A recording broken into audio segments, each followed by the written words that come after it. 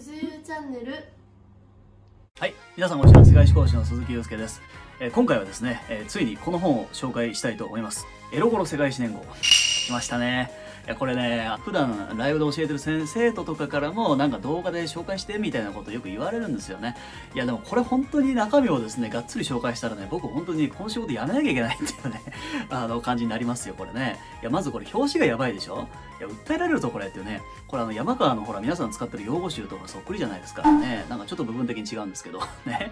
で帯もなんかまたやばいこと書いてありましてですね、えーまあ読めませんけどね。はい。エロ五郎ね、えーちなみにこれあの江口五郎さんが書いてるんですけどこれエロ五郎の当て字ですよねこれね。はい。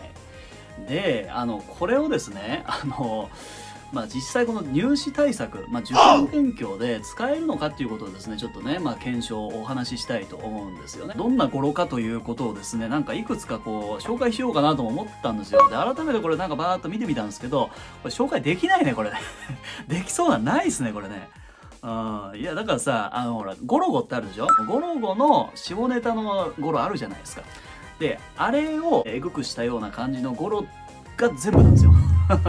ええ、だからまあゴロゴのあの感じあの世界観が大丈夫な人は多分これ大丈夫だと思うんですよね。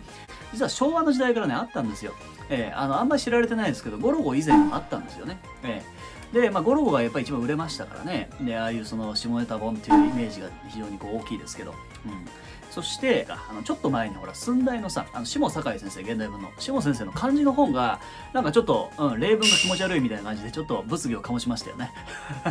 ね。でなんかアマゾンでさめっちゃ売れたみたいなこともありましたけども。まあそういう歴史の中にですねこう位置づけられるわけです。はい。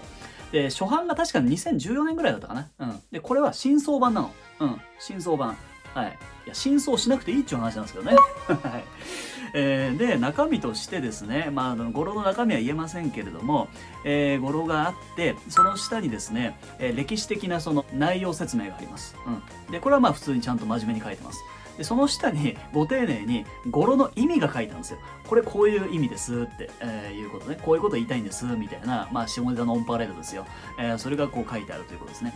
全部読みこなしていくとですね世界史も詳しくなれるしなんかさらにエロ博士になりますよこれ、えーさあで受験対策という意味で言えばですねこれどういう語呂なのかっていうとうん、と年号があるじゃない。で年号と事件出来事。でさらにその周辺知識、うん、も覚えられるような結構長めの語呂なんですよね。だからこれをね全部語呂で覚えようとすると結構大変。要は、うん、と語呂合わせっていうのはさ、うん時間短縮のためにやるわけじゃん。でも結局語呂自体が長いとその語呂を覚えなきゃいけないわけよ最終的に。だから結局記憶の負担っていうのは重たいわけじゃない。しかもかなり下ネタなんでなんかね知性が下がっていく感じがするんだこの語呂を頭に刻んでいくとね、えーまあまあまあそういうのが好きな人はいいんでしょうけどね、うん、だからこれを全部年号対策本として使うことはそんなに進めないかなって。よっぽどエロが好きな子がいいんですよ、うん、昔ねあのこれが出た頃ですよ。2013-4年ぐらいの頃に僕は女子校で教えてたんですよ、えー女子校でも教えてた厳密に言うと。いわゆる学内予備校ってやつで予備校以外の場所で、まあ、受験対策講習を請け負うわけですよ。ほんで行って教えてたんです。で30人ぐらいのクラスでえー全員もちろんあの女子校だったので女子生徒ですよ。で1718歳の。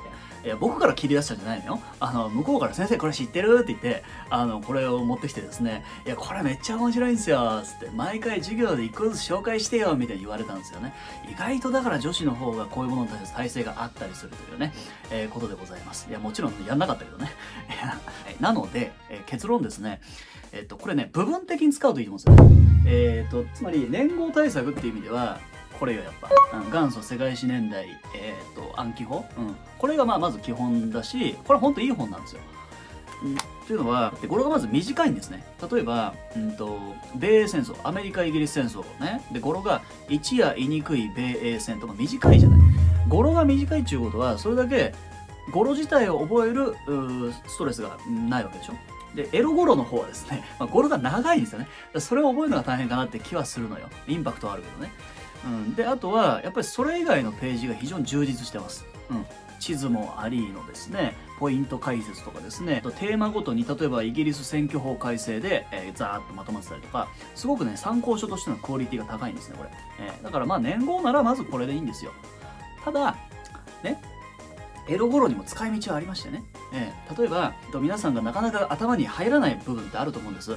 ええ、それは年号ももちろんそうだと思うんだけど、例えば条約の中身とかさ、うん、パリ条約の中身とかさ、なんか最後まで結構頭に入らないじゃん。うん、いうものとかは、実はこのエロ語呂の中に、あの、インパクトの強い語呂が載ってます。パリ条約の覚え方とか。で、そういうやつだけどうしても覚えられないっていう時に、最後の駆け込み寺的にですね、覚えられないやつだけこれに頼ると。そういう使い方があるかなと。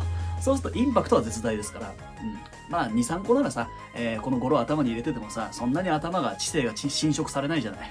実際そうですね、これを使って受験勉強しましたっていう生徒に会ったことないんですよ。あとはだってこれなかなかさ、レジに持ってくのきつくない？これ。えプロフィール、江口五郎先生、語呂合わせ術、江口流修句、修句道継承者。作り出すエロ語呂の大胆さとは裏腹に小心者なので人前には出たがらない、えー、今日も日本のどこかでひっそりと語呂を作ってるだそうですということでね実はご丁寧にこのページまで用語集と似てるんですよこれねはい。まあそんな感じで、えー、まあ前書きにですね、えー、このエロゴロ先生自体がですね、本書は史上最低の参考書ですって書いてますから。うんまあ、ただまあ、えー、使い方によっちゃですね、えー、使える部分もあるかもしれません。ちなみに定価1500円です。用語集より高い。ね、そんな一冊でございます。はい、以上です。えー、ということでね、まあ、この動画 役に立ったという人は、チャンネル登録、高評価、さらに、えー、Twitter のフォローもね、よろしくお願いします。はい、それではまた。